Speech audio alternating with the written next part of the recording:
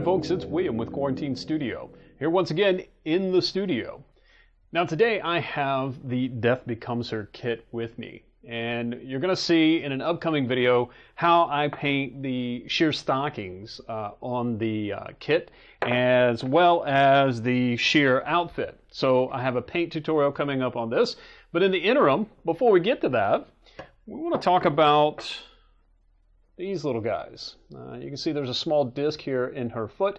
Um, this is a rare earth magnet, and I have a reciprocating magnet here in the base. What this is going to do is hold that foot into place, and so what I need to do is put another one up here in the top of the leg in order to hold it in place. Now, why do we do this? Well, uh, I know a lot of you enter contests and things like that, and it's always a delicate procedure of transporting your models from one location to another. So, especially the figure modelers, this may be really handy for you. Uh, I've also used this in the case of some vehicle models where I wanted to keep a door in place or perhaps a canopy in place. Of course, I have to use much, much smaller magnets, uh, but it does work. And so um, that's what we're going to do here. So that's it. Uh, installing rare earth magnets. Let's get to it.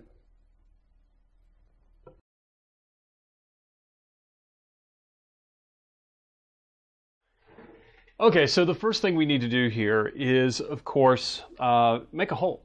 Uh, I need to make a receiving hole here in the back of the skull and then one here in the leg. So the first thing I'm going to do is go ahead and put this leg into place where I think it's going to be. And you can see it's not even holding in place right now uh, because I just have the one magnet in the toe. So I'm going to get this in place. I'm going to get the nice fit that I'm after. And then I'm going to use a pencil to mark the location. I'm just going to kind of mark a center point here. So I'm going to say right in here. Let's put a nice big mark there. And then I'm going to flip this over as best I can without moving it. Get that back into place. Come on, stay there, you little rascal.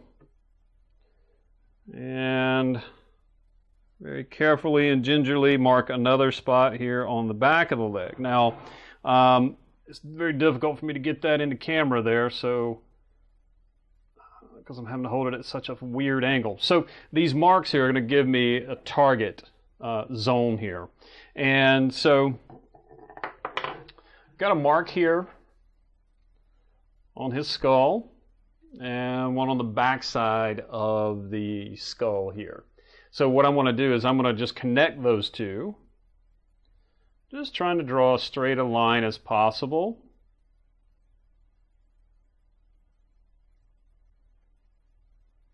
Nice. And that's going to give me a little bit of a, a target there for that. Now, um, what about the opposite direction? So what I'm going to do is I'm going to go ahead and mark the skull here. You say, well, wait a minute, you don't have the leg on there. Nope, I sure don't. And that's going to be okay. So I'm going to go ahead and mark this. And I'm sure other people have other techniques for doing this, and that is absolutely okay. Basically, I'm just trying to get uh, a target zone here, a crosshair, if you will. We'll use a little bit of uh, blue painter's tape to hold the leg in place. So, and I didn't do that the first time. You say, well, why didn't you use that blue tape the first time? Well, you're about to see why. Because it would cover up the spot where I was going to make the mark. On this particular mark, I don't have to worry about that a whole lot. All right, so I'm just kind of holding it here in place. And I'm going to flip it over here, and then I'm going to be able to mark the leg. Now, what I'm doing is just placing these marks kind of like a, like I said, like a crosshair. And they're going to give me, well, kind of an area in which to start drilling the hole. Okay? So once again, now I have the uh, four marks here. Okay. And I can just pretty much connect the dots here. So uh, trying to keep all of this in camera. Do I have to be dead on accurate with this? Well, no, not necessarily. I mean, be as accurate as you possibly can. You know, but it doesn't have to be dead on perfect. So now I've got a nice little uh, crosshair here where this is going to go. Awesome, awesome, pretty good. And I'm going to do the same here for the skull. So I'm just connecting those lines And I, I went ahead and pre-marked these lines because I knew they'd be difficult to reach. Uh, but I knew that if I could mark them on one piece, it'd be easy to transfer them to the second piece. So I wanted to kind of set this in the center of the skull. I wasn't worried about where it was going to hit the leg.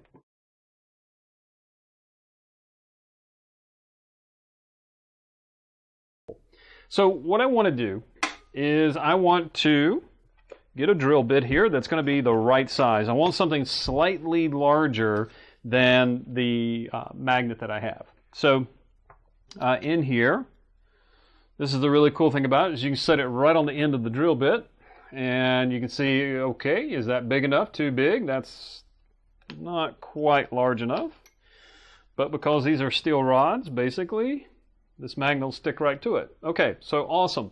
So this appears like it's going to work. I'm going to try to get that in the light. So you can see that the black of the drill bit is a little bit larger than the silver of the magnet. Pretty cool. So that's what I want. I don't want to go so large I'm going to start breaking up this piece, but I do need it large enough to give myself a little bit of wiggle room for the magnet.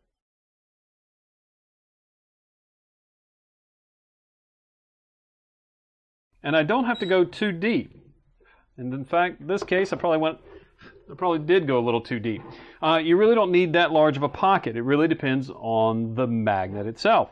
So if I take this little magnet here, it's going to drop way down in there, a little too far. But that's okay because, well, I have some putty that's going to go in there. So that's why I made this a little oversized, so that uh, I make room for the putty.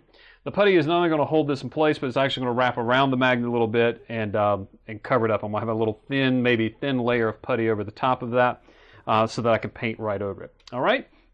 So this is going to blend right in. Not uh, anyone would ever see it, but just to give us a nice polished look. So um, there it is for this one. Now we just repeat the process uh, for the leg. I've marked the crosshairs and I'm just going to drill in the spot.